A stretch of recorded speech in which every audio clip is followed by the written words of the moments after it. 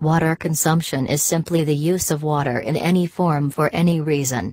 While most people tend to think of water consumption as nothing more than drinking, water is consumed in a variety of ways, with human consumption only making up a small fraction of the use.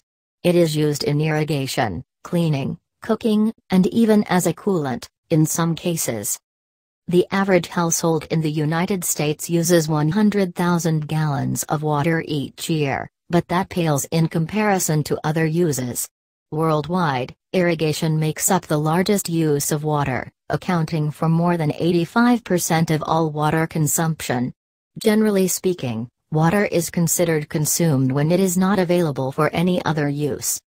Understanding how water is consumed is very important, as many geographic locations in the world routinely experience a water shortage or a water distribution problem.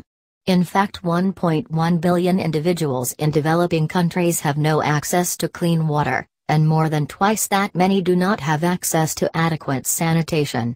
Thus, many have come to see the issue of water consumption not only as a conservation issue, but also as a human rights issue.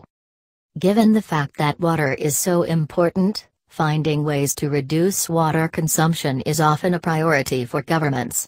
In the United States, for example, many states or local governments place restrictions on certain water uses, such as lawn watering. The laws are typically designed to ensure that overwatering is not taking place, and that watering is done at the proper time of day. This helps reduce waste and loss due to evaporation and other issues. Many countries also place an emphasis on conservation efforts and have laws regarding pollution. Pollutants can make water unsafe both for drinking and for organisms that live in the water, which may also be part of the larger food chain. Therefore, pollution can also be considered a type of water consumption because it makes the water unusable.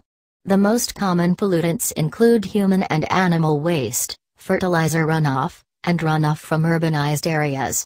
In addition, industrial areas may discharge tons of heavy metals and other chemical waste into water systems that are hazardous to animals. Water consumption may not only be an issue within a country, it can also be an issue between countries. For example, a country that dams a river can affect the flow to countries who depend on that same river downstream. A recent example of this taking place happened in the fall of 2009, when Iraq pressured Turkey to release more water from the Tigris and Euphrates rivers, which begin in Turkey and flow through Iraq. While the term water consumption may indicate the water ceases to exist, it does not. It simply changes form and locations. Water is constantly recycled through a process known as the water cycle, and the amount of water on Earth has remained virtually unchanged since its creation. Whether that water is in a usable form is the main concern.